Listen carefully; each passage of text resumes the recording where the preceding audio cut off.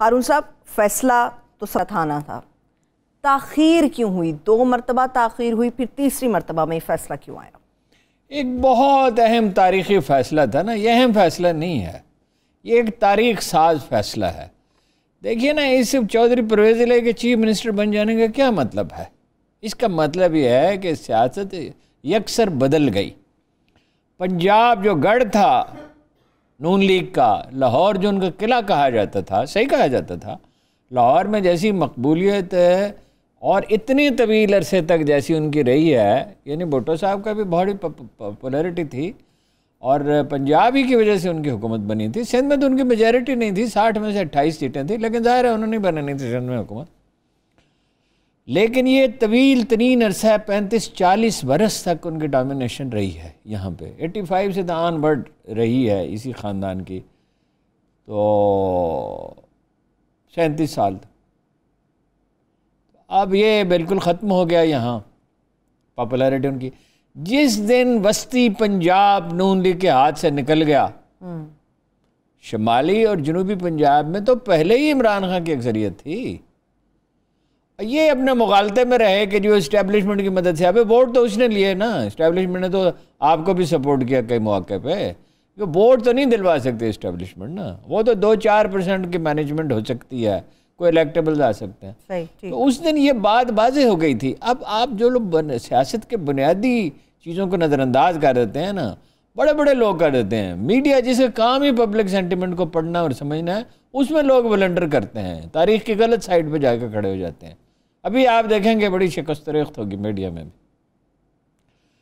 जब वस्ती पंजाब उनके हाथ से निकल गया क्यों निकल गया? नौजवानों की वजह से निकल गया। ये बार बार मैंने पॉइंट आउट किया और लोगों ने भी किया ज़ाहिर है कि भाई नौजवान जिसके साथ चले सिक्सटी फाइव परसेंट तो नौजवान है। एक नौजवान एक बूढ़े आदमी के मुकाबले में दस गुना ज़्यादा वक्त दे सकता कोई कोई शुबा नहीं है। बच्चों का तो कोई रोल नहीं होता।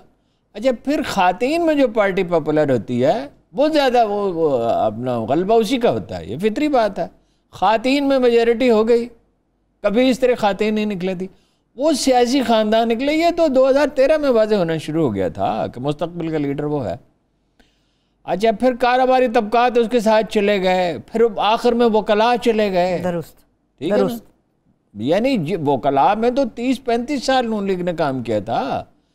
और उनको इतना ओबलाइज किया कि जिसकी कोई मिसाल ही नहीं है बार एसोसिएशनों को इतने पैसे मिले।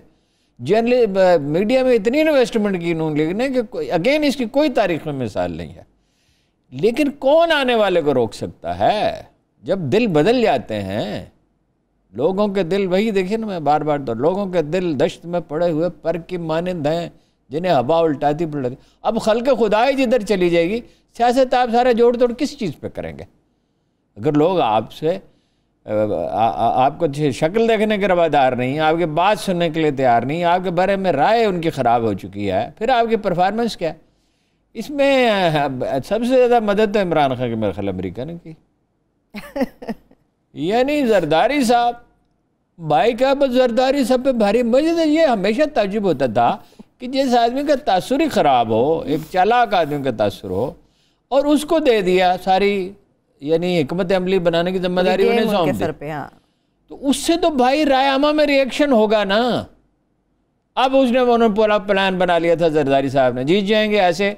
आखिर में उन्होंने तो एक ऐसी हरकत की यानी भाई आखिरी वक्त में खाता है जो जेब से निकाला जाता है।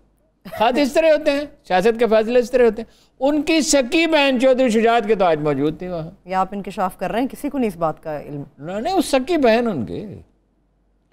और मतलब ये है कि वो और बहन भी ऐसी कि मैं अगर ज़्यादा उनके करूँगा तो लोग मुमकिन है ये समझे कि मैं मुबालगा कर रहा हूँ। हम्म। मैं जानता हूँ उनको चालीस बरस से मतलब जो उस मेरा तो चालीस बयालीस बरस से इस ख़ानदान से मिलना जुलना है तो मैं उस वक्त से जानता हूँ कि वो मज़बूत खातून है। वो किसी कहने पर फैसला नहीं करने वाली। और सारी दुनिया उनकी सतश करती है। ख़ानदान को इतना वेलफेयर के काम पे उन्होंने लगा दिया कि उसकी तफसीत बयान कीजिए तो लोग चौंक उठे सही है मैंने अभी फैसले पे मजीद बात करनी मगर आपने अमरीका और आसिफ जरदारी साहब का हवाला एक साथ दे दिया है। फिर पूछ रही हूँ कल की तरह आसिफ अली जरदारी क्यों गए हैं? नहीं आसिफ अली जरदारी तो दो इतलात एक तो ये थे कि वहाँ आसानी से अमरीकियों से मुजाकर कर सकते हैं उनसे बात करने के लिए और कुछ लोग कह रहे थे कि वो एसिड्स का सौदा करने के लिए गए हैं। एसेट्स में तो वो तनहा फैसला नहीं कर सकते। हुकूमत किसकी है? शरीफ खानदान जो है वो इस तरह के कामों में किसी को दखल देने ज़्यादा दखल देने की इजाज़त तो नहीं दे सकता लेकिन दोनों बातें सही हो सकती हैं। पैसे बनाने का उनको शौक़ है। अमेरिकियों से भी बातचीत की होगी। अगर ये दोनों बातें सही हैं तो इसकी तफसीलात कुछ दिन में सामने आ जाएँगी। अभी इस पर हतमी राय नहीं देनी चाहिए। लेकिन अमरीकी क्या करेंगे? अमरीकियों ने तो कल बता दिया। हाँ उन्होंने तो कह दिया उन्होंने कहा हम हर हुकूमत के साथ काम करने के लिए तैयार तैयार है। वो ईरानी इनकलाब के बाद से वो बड़े कॉन्शियस हैं कि अवामी तहरीकों की मजामत न की जाए। और इमरान खान क्या तकलीफ़ देंगे जी अमेरिका को? वो भाई अड्डे बड्डे तो वैसे ही नहीं दे सकते। वो तो एक वैसे ही बचकाना बात थी।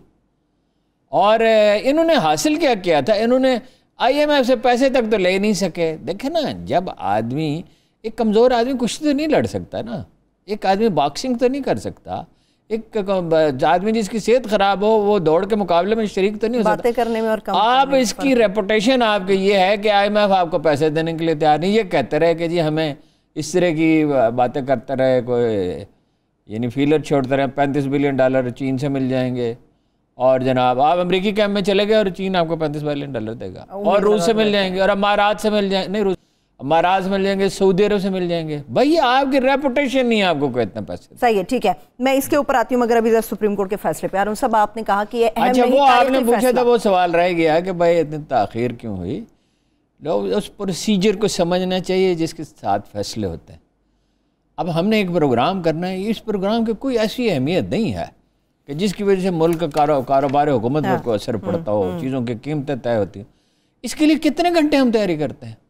फिर तब्दीलियाँ करते रहते हैं आखिरी बहुत नहीं वो मैं बताता हूँ ना आपको प्रोसीजर समझ लें तो बात समझ में आ जाएगी। मैं चूँकि उससे वाकिफ हूँ थोड़ा सा और मैंने मालूम भी किया रबता भी किया वहाँ सुप्रीम कोर्ट में कोई दोस्तों से पुराने जिनसे ताल्लुक़ है कि भाई क्या बात है ताखिर हो रही? उन्होंने कहा सुबह आठ बजे से जाए हुए आए हुए हैं थके हुए हैं। सुबह आठ बजे आए थे ना जी? तो जो जिस वक्त फैसला हो रहा था तो बारह घंटे जो उन्होंने फैसला लिखना था तो दस ग्यारह घंटे तो गुजर चुके थे। फिर तफसील भी तफसीली फैसले। फिर आज आठ बजे नहीं आए। बहुत दिन से सुबह सवेरे आ रहे हैं। ये तो एक मसला था इसके लिए तो कई दिन से आ रहे हैं। उससे पहले भी आ रहे थे। ठीक। थक जाते हैं लोग। फिर इन जज हजरात में से बाज़ को मैं जानता हूँ वर्जिश वगैरह के बहुत आदि नहीं है। ज़्यादातर शहरों के लोग हैं और टफ नहीं हैं उतने। और देखे इतना नाजुक मसला। फिर लिखवाया जाता है फैसला। लिखने के बाद उसको दोबारा पढ़ा जाता है फिर उसमें मुतलका जो मसाइल पैदा हो सकते हैं उनका जायज़ा लिया जाता है। ये कोई आम फैसला तो नहीं है ना? इतना तवी तवील फैसला हालाँकि ये तफसीली फैसला नहीं है। अभी शॉर्ट ऑर्डर है शॉर्ट ऑर्डर तो 11 सफ़े पर फैला हुआ है और एक एक चीज़ से बहस की जाएगी। अभी वो मुमकिन है नज़र सानी की दरख्वास्त करें। हाँ जी। अगर ये उसके लिए माहौल उन्होंने ऐसा कर लिया है कि सारी सुप्रीम कोर्ट को तो उन्होंने मुलजम बना दिया है पीडीएम ने और अपना पीपल्स पार्टी ने। हम्म। तो इन इस सूरत हाल में क्या वो अपील करेंगे? जब अदालतों पे एक तरफ़ आप अदम अतमाद कर रहे हैं दूसरा आप उनसे अपील कर रहे हैं। वैसे आपने ये याद करा दिया? मियाँ नवाज़ शरीफ साहब ने भी अभी एक रिसेंट ट्वीट किया उन्होंने कहा पाकिस्तान का तमाशा बना दिया गया। तीनों जज साहिबान को सलाम। नहीं वो तो देखिए ना अभी कल तक तो वो अदालतों की तहसीन कर रहे थे हाँ। उनकी तारीफ़ कर रहे थे अदालतों ने उनके रास्ते में कौन सी रुकावट पैदा की? रुकावट तो उन्होंने खुद पैदा की। अगर दोस्त मजारी से ये फैसला न कराया जाता